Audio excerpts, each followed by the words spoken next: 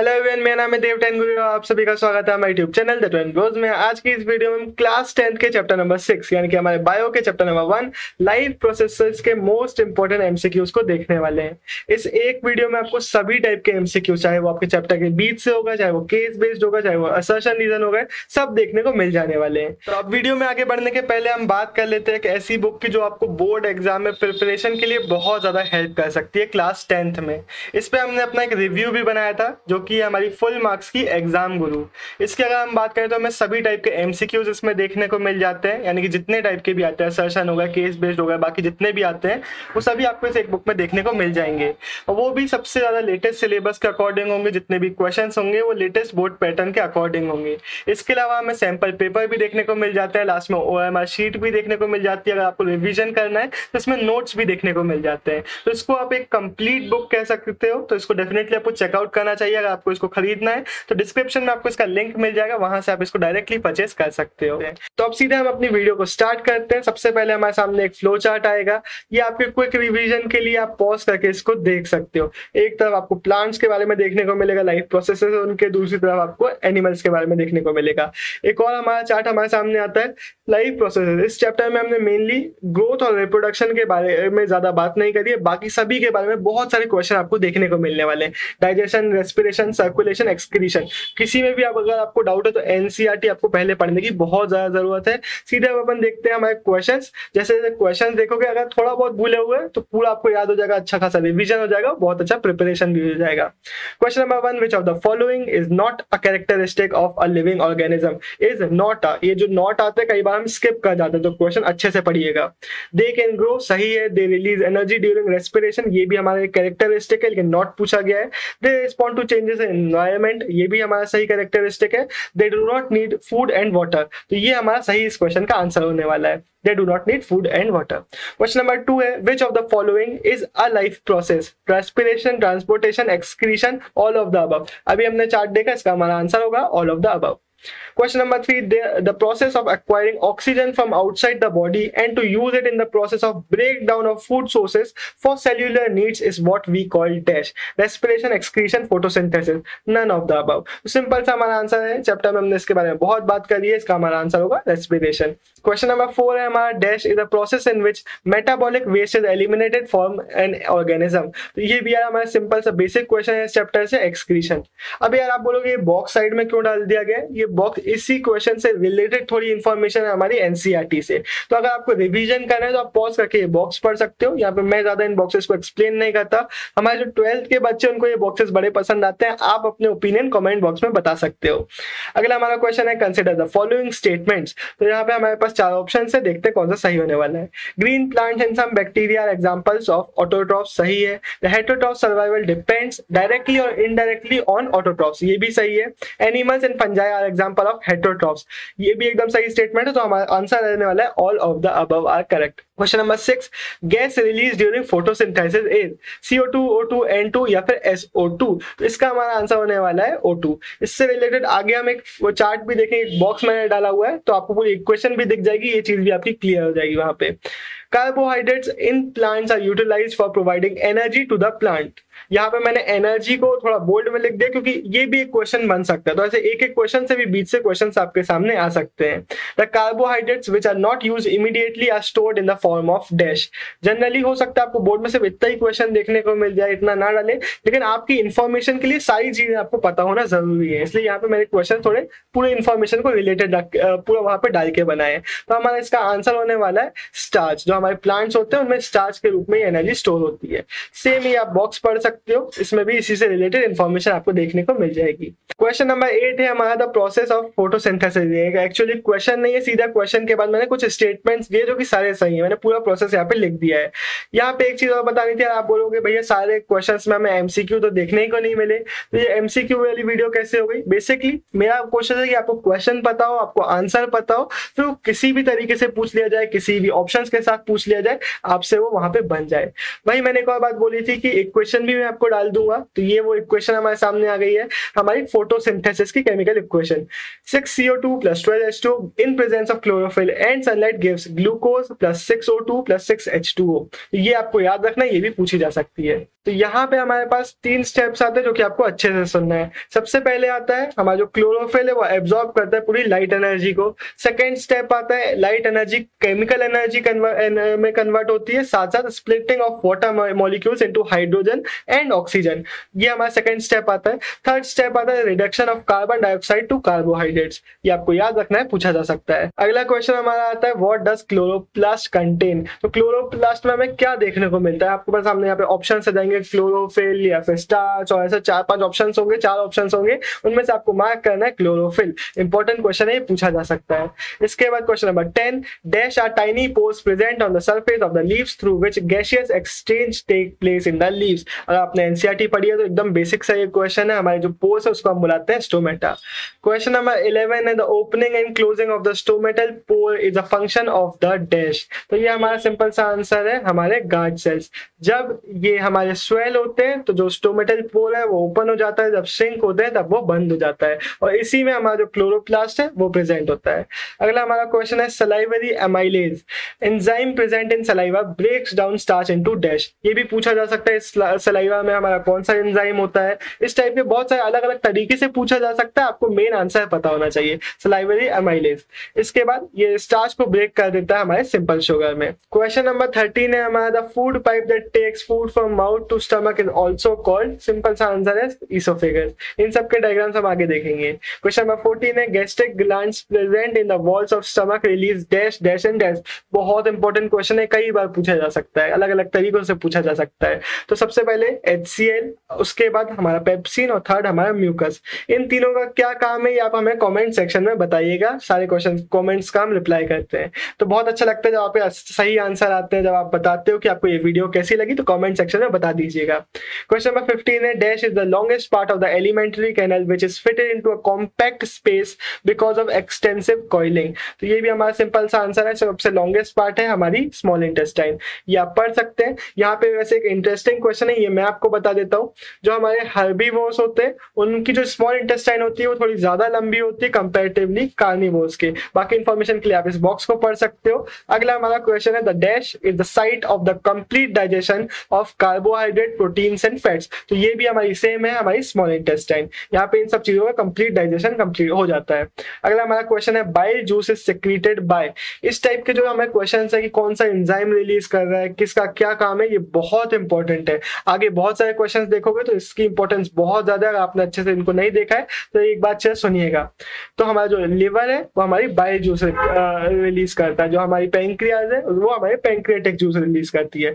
इसके अलावा ये बॉक्स भी पढ़ लीजिएगा, ये इंपॉर्टेंट बॉक्स है। Question number 18 the inner lining of the small intestine has numerous finger like projections called dash which increase the surface area of absorption तो हमारा इसका आंसर है विली।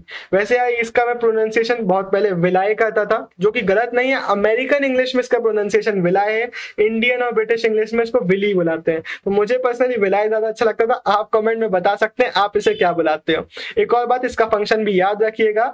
ये हमारा जो एब्जॉर्प्शन का सरफेस एरिया उसको बहुत ज़्यादा बढ़ा देता है। तो विलाय विली, आपको जो बोलना है, आप बोलिए। हमारे सामने ये चार्ट हमें देखने को मिलता है। यहाँ पे एक चीज़ है जिससे ज़्यादा क्वेश्चन मैंने डाले वो है हमारी एरोबिक और एनएरोबिक रेस्पिरेशन रेस्पिरेशन ज़्यादा क्वेश्चन उससे नहीं देखने को मिलते, लेकिन कुछ चीज़ें हमें पता होने चाहिए।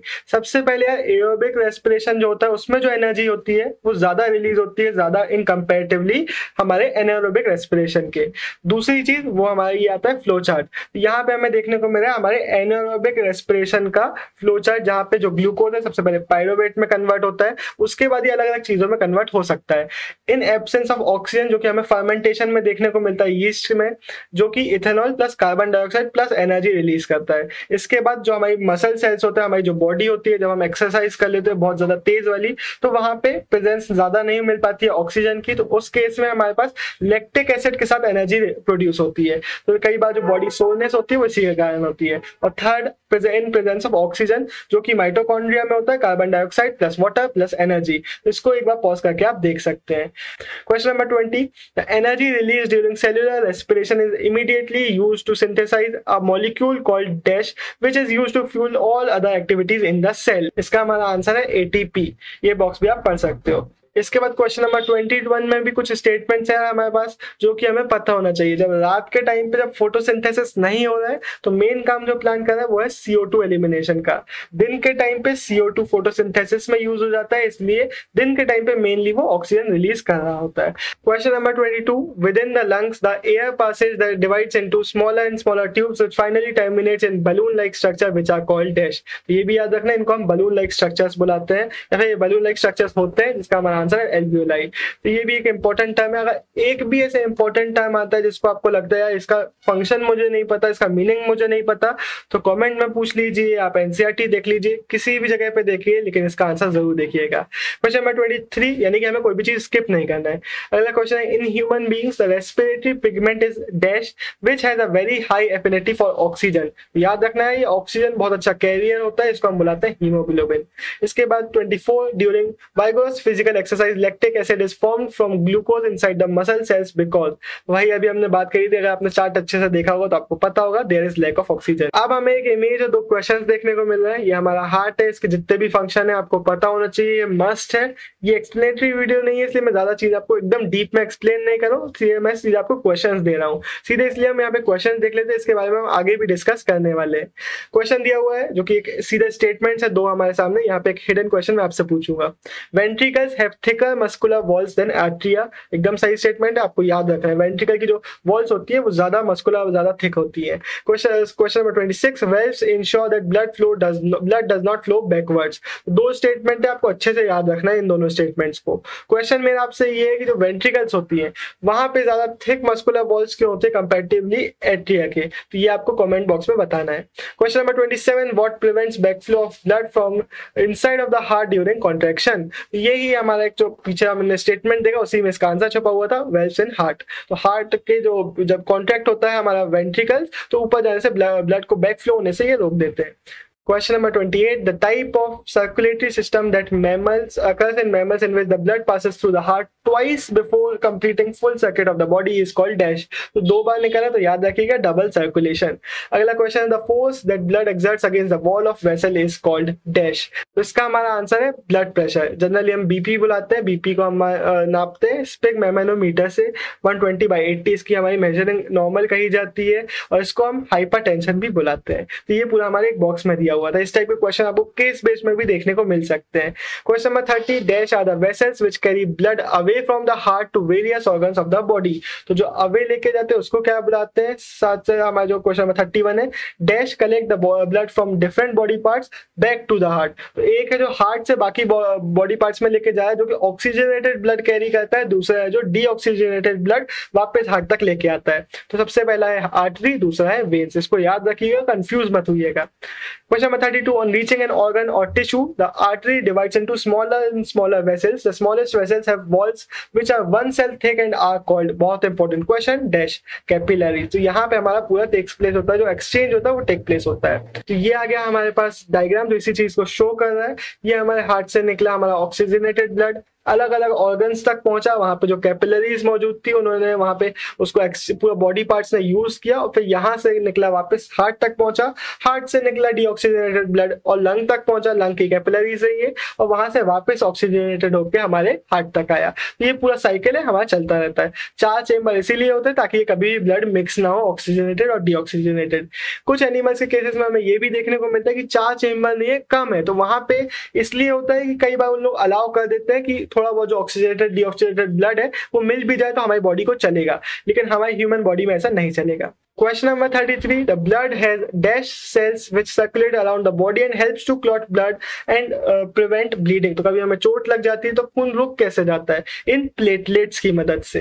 अगला क्वेश्चन है हमारे पास। The dash moves water and minerals obtain from soil तो अब यहाँ से प्लांट का चालू हो रहा है। और क्वेश्चन नंबर 35 इसी से रिलेटेड है। The dash transport products of photosynthesis from the leaves where the they are synthesized to other parts of the plant तो एक है जो वाटर का हमारा पूरा सिस्टम है एक है हमारा जो फ़ूड का पूरा सिस्टम है। तो इसका तो वाटर वाले का आंसर है जाइलम और दूसरा वाले का है फ्लोएम अगला हमारा क्वेश्चन है the loss of water in the form of vapour from the aerial parts of the plant is known as dash तो हमें देखने को मिला था हमारे जो, हमारे पोस होते हैं टाइनी पोस स्टोमेटा के जो पोस होते हैं, उनसे बहुत सारा वेपर के रूप में वाटर निकलता है, उसको हम बोलते हैं transpiration thirty seven the transport of soluble product of photosynthesis is called dash and occurs in the part of vascular tissue known as phloem इसका हमारा आंसर है ट्रांसलोकेशन बॉक्सेस आप पढ़ सकते हैं।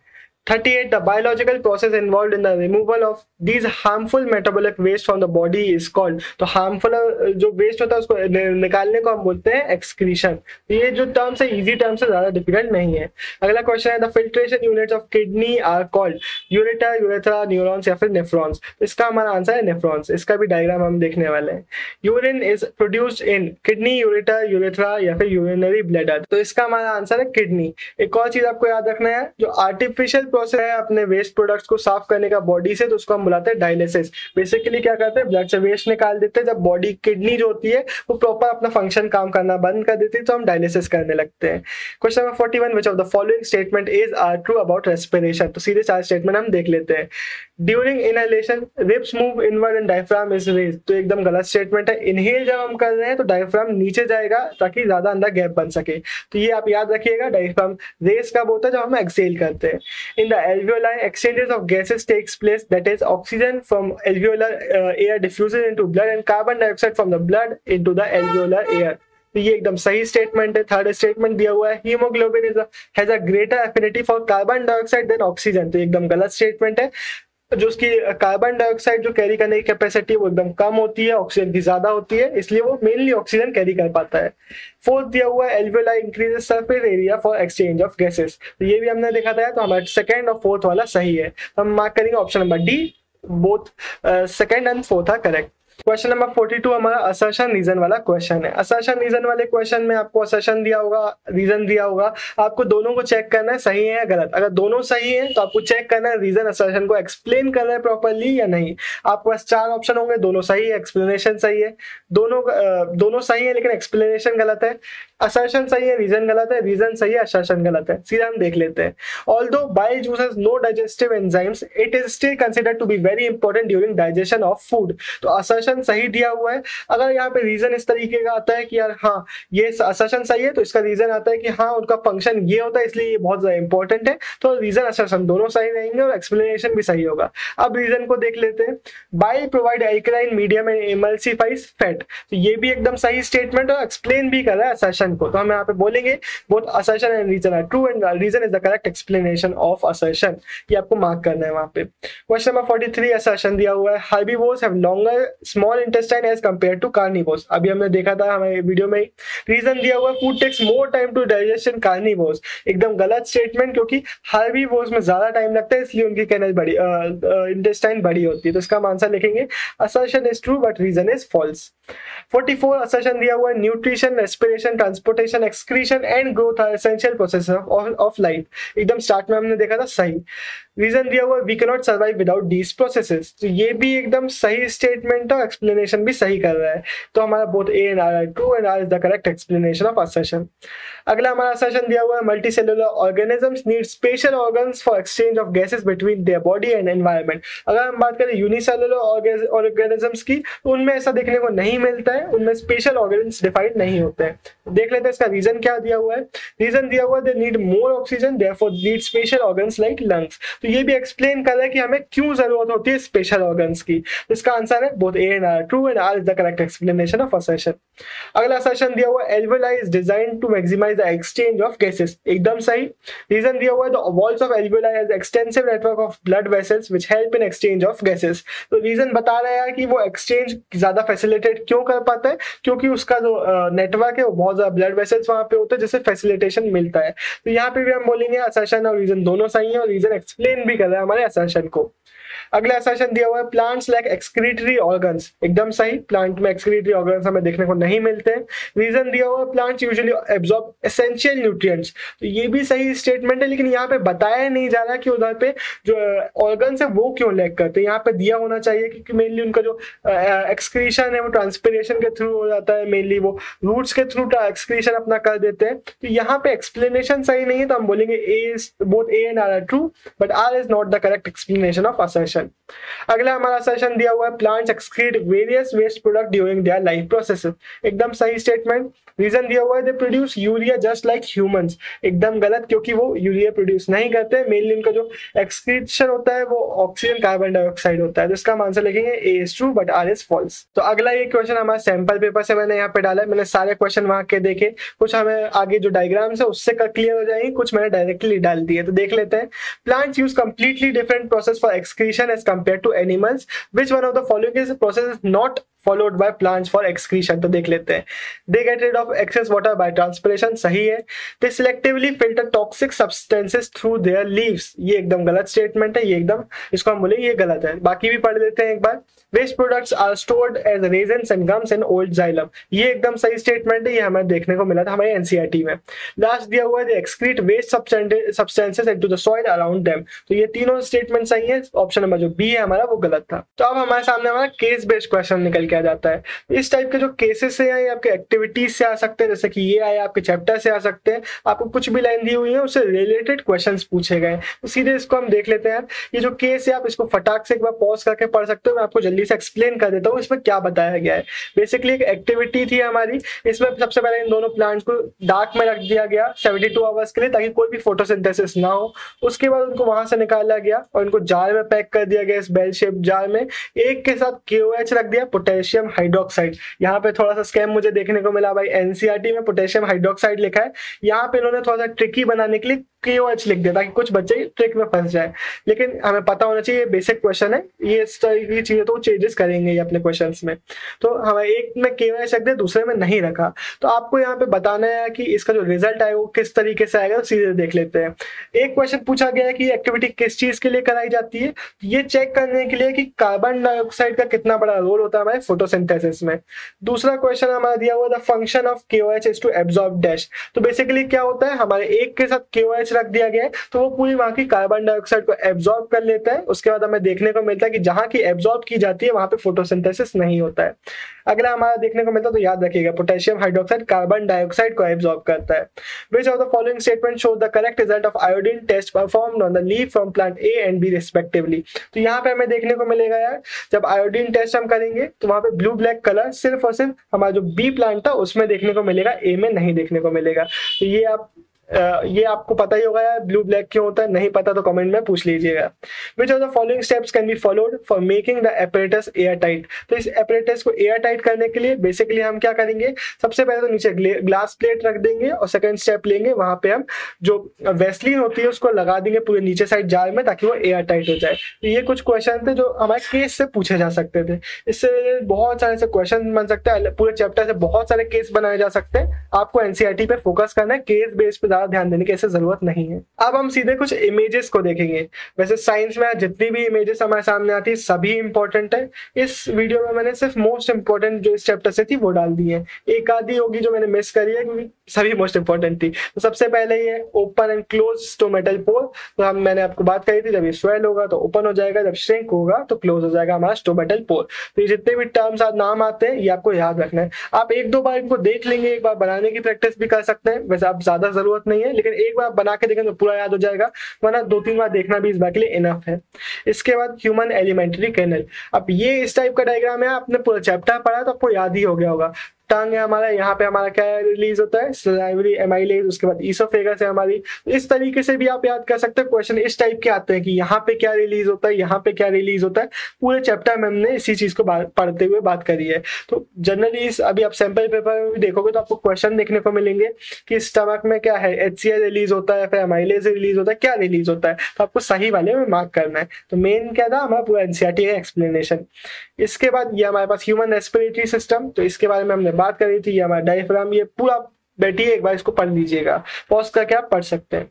इसके बाद, वैसे ये भी इंपॉर्टेंट है, हमारे एलवियोलाई जिसके बारे में हमने बात करी थी, ये बहुत ज़्यादा इंपॉर्टेंट इससे क्वेश्चन बहुत सारे आते हैं।